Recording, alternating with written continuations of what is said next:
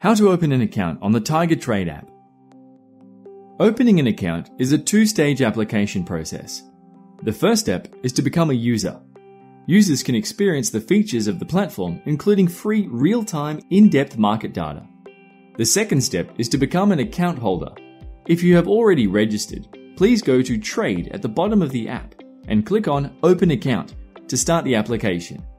Opening an account is easy and it only takes 5 minutes. Please have your photo ID information ready so you can complete the application process.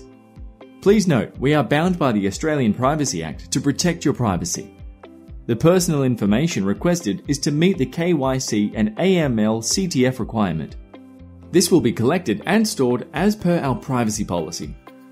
The steps are as follows 1. Select your country of residence. 2. Provide some information about yourself, including your tax file numbers, personal ID information and your address, and some background information. 3. Agree to the terms and conditions. And 4. Sign the application on the app and submit.